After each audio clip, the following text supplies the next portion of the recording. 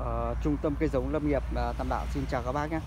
Thì uh, bây giờ em lại có thời gian để ra vườn để quay cho các bác video về cái cây uh, trà hoa vàng hạt của bên em.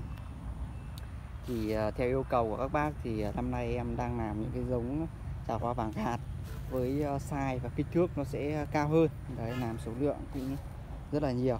Đấy các bác có thể nhìn này. Đây.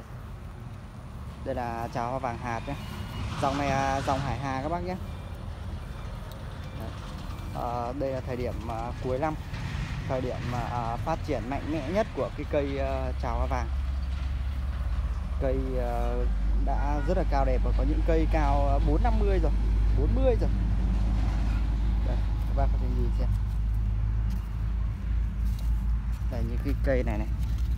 Ui, cây à, cao 450 rồi đẹp lắm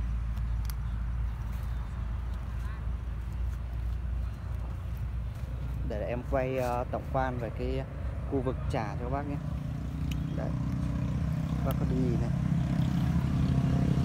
Uh, vườn em ở ngoài đường nên là đang rất là ồn các bạn nhiều xe đi lại.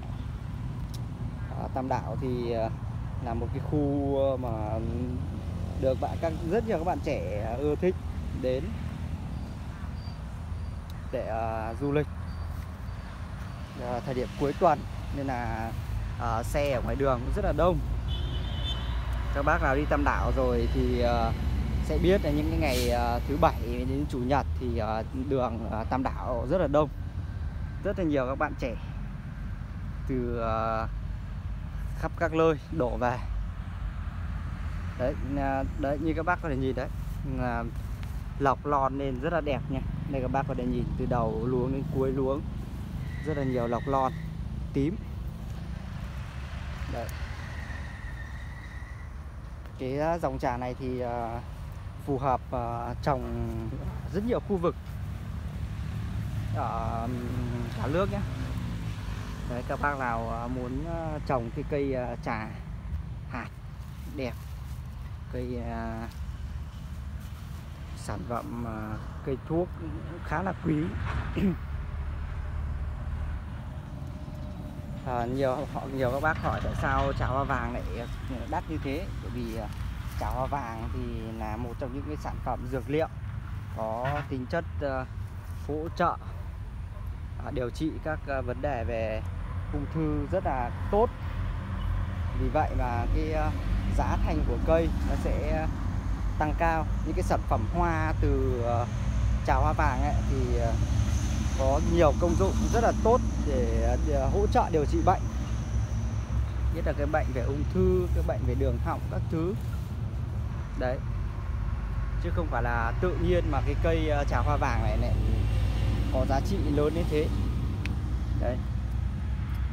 Các bác à, đọc nhiều sách báo các bác cũng sẽ thấy được cái tác dụng mà trà hoa vàng mang lại. Đấy.